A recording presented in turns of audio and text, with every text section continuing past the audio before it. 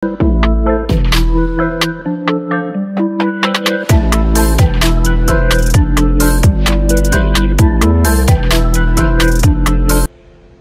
ayun mga lods, may dumating na parcel. Hindi ko pa na kukuha yung camera. So ito na munang phone.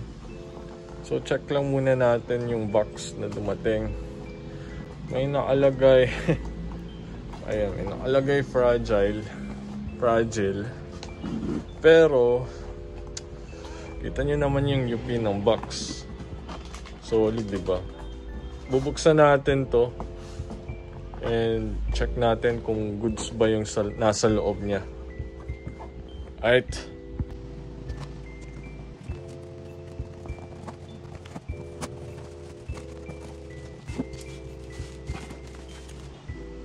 So yun mga lods, kahit na may dent yung box, so far bubble wrap naman tong package na dumating sa seller. And wala naman ng makapang dent